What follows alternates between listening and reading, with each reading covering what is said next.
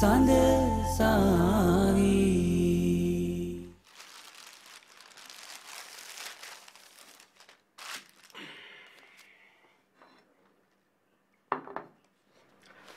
කෝදැම් ප්‍රමිතා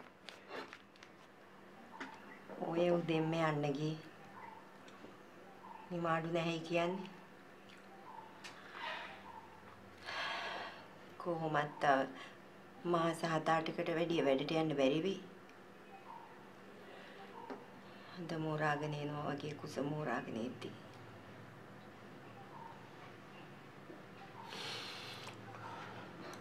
නෝනේ බඩගින්නේ නේ නෑ නෑ මහත්තයා කණ්ඩකෝ. උදේටත් නොකානේ ආවේ. නෑ පරාට දෙකක් නම් කෑවා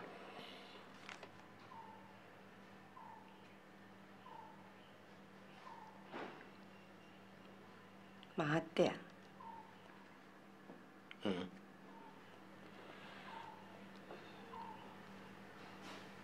මහත්තයාට ඔෆිස් එකෙත් ප්‍රශ්න තියෙනවද? නෑ ඒ මොකුත් ප්‍රශ්නයක් නෑ ඇයි නෝනෙට කවුරු හරි මොකුත් කිව්වද අනේ නෑ.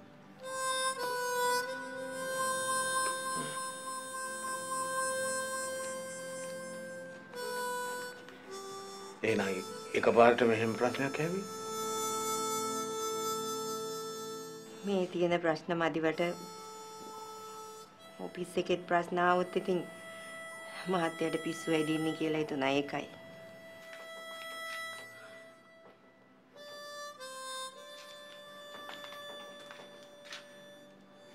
මොකද මචං කේස් එකට උනේ?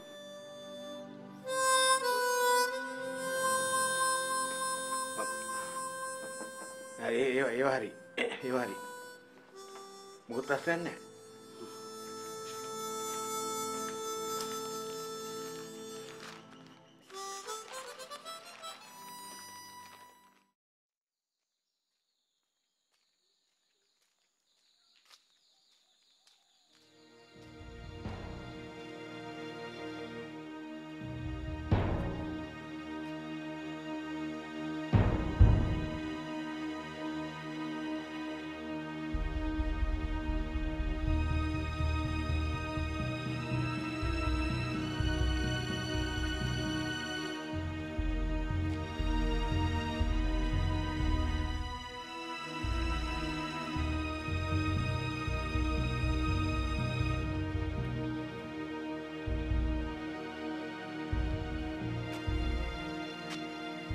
ආ කුමාරියාමි. හිතුවේ නෑ නේද අපි මේ මම්බේ කියලා? අද දෙන්නම් ජම්බු. ඒයි රසුම්මා. යන්න හදන්න එපා බේබී ඔයා මට ටවුමෙත් දුන්නනේ සබ්බුව. මම ඔයාට රිටර්න් එක දෙනවා.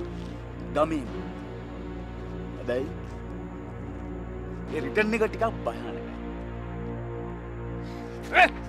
නෑ? මට යන්න දෙනවා? නැත්නම් මම මුළු ගමට වැහෙන කෑ ගහන්නේ. හා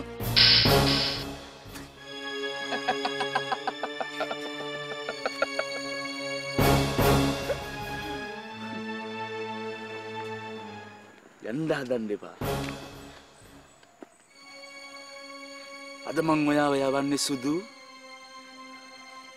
ඔයාගේ කොන්්ඩේ කපලා ඔයාගේ ගේමට මගේ ගේම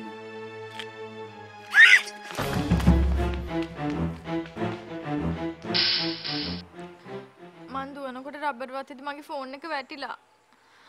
අපි අයියා ඒක හොයාගෙන තමයි ඔයාට කතා කරලා තියෙන්නේ.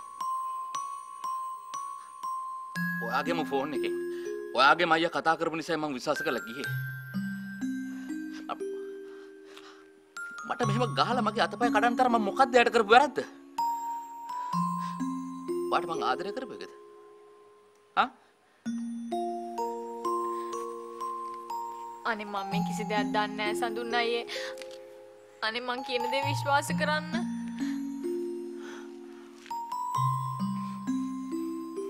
මගේ අත සනීප වෙච්ච ගමන් මං එනවා ඔයාලගේ ගෙදර. ඔයාට හොඳටම විශ්වාස දෙයි අපේ අයියා කියලා. මට මෙච්චර දෙයක් කරපු මිනිහා මට අමතක වෙයිද? ආ?